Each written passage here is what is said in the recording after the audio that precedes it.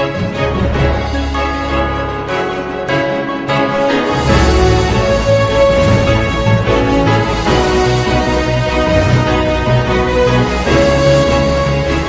নারায়ণগঞ্জ সোনারগাঁও উপজেলার বৈধ গ্যাস সংযোগ বিচ্ছিন্নের কারণে এলাকাবাসী ভোগান্তিতে পড়েছে। সোনারগাঁয়ে বৈধ গ্যাস সংযোগ দেওয়ার দাবিতে মানববন্ধন ও বিক্ষোভ মিছিল অনুষ্ঠিত হয়।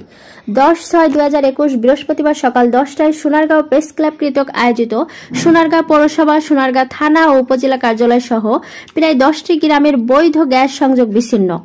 গত পাঁচে জুন শনিবার দিন থেকে কোনো নোটিশ ছাড়াই গ্যাস সংযোগ বিচ্ছিন্ন করেছেন তিতাস গ্যাস কোম্পানি। জ্বালানি শূন্যতায় এলাকার জনসাধারণ ভোগান্তিতে পড়েছে। রান্না বন্ধ থাকার কারণে খাবার খেতে পারছে না এলাকার সাধারণ মানুষ। কেউ লাকড়ি দিয়ে রান্না করতে গেলে জ্বালানি কাঠ শূন্য, বোতল গ্যাস চাহিদা অনুযায়ী ব্যবসায়ীরা সুযোগে অর্থ ফায়দা লুটে নিচ্ছে। বোতল গ্যাস ক্রয় করতে সাধারণ পরিবার হিমশিম খেতে হচ্ছে। কিছু অর্থ সবল মানুষ বিদ্যুতের চুলা দিয়ে আবার কেউ সিলিন্ডার গ্যাসের মাধ্যমে রান্নার কাজ চালিয়ে যাচ্ছে। জীবিকার তাগিদে মানুষ এখন খুবই কর্মব্যস্ততার মাঝে দিন কাটাচ্ছে। তার মাঝে আবার এই রান্না দুর্যোগের সমস্যা, এ করোনা মহামারীর মতো এক বিরাট জীবনযুদ্ধ। মানুষের মাঝে বিরাজ করছে হাহাকার। দিশেহারা হয়ে খুঁজতে থাকে কোথায় গেলে লাকড়ি, কেরোসিন, সিলিন্ডার, গ্যাস জ্বালানি, শুকনো বিলুপ্তি হয়ে যাওয়া কাঠ কোথায় পাওয়া যেতে পারে? আজ ছয় দিন অতিবাহিত হলো গ্যাস সংযোগ বিচ্ছিন্ন।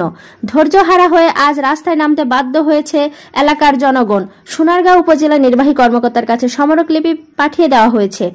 বন্ধ রাখা গ্যাস সংযোগ চালু করে দেওয়ার দাবিতে সোনারগাঁও উপজেলা নির্বাহী কর্মকর্তা মোহাম্মদ আতিকুল ইসলাম জানান আমি যোগাযোগ করছি অতি তাড়াতাড়ি সংযোগ দেওয়ার জন্য। আপনারা শান্ত থাকুন।